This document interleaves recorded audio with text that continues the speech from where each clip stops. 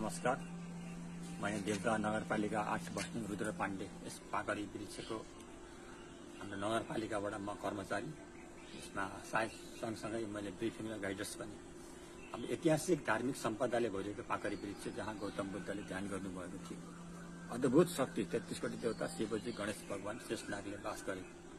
पवित्र वृक्ष जहाँ हाम्रो रिटायर्ड पर्सनहरूले मेडिटेसन गर्दाखेरि देखेको कुराहरू शेषनागमाथि सुसाएर कृष्ण सुसाको माथिपट्टि शिव पार्वती बसेर उहाँहरूले देख्नुभयो रिटायर्ड पर्सनले मेडिटेसन गर्दाखेरि त्यस्तो किसिमको वृक्ष एउटा पवित्र वृक्ष जसको उचाइ छयानब्बे फिट उचाइ र बयासी फिट फेप र पाँच सय फिट आगामा फैलिएको एउटा पाकरी वृक्ष। जसका नामहरू पाकड फल्कासा र देवता बान्यान भनिन्छ।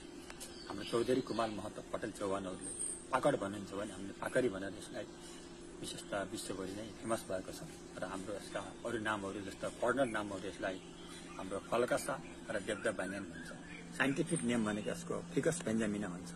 हाम्रो यसको पिपल फ्यामिलीमा पर्ने एउटा हाम्रो एउटा हेरिडिटी यसको पिपल फ्यामिली भन्छ। अनि गएर हाम्रो यसको आर्कोलोजीले रिसर्च गरे अनुसार एसियाको लार्जेस्ट एन्ड ओल्डेस्ट सेकेन्ड नम्बरको र ओल्ड नेचुरल ब्युटी टप टेनमा हाम्रो यो रुख पर्न सफल छ सायद।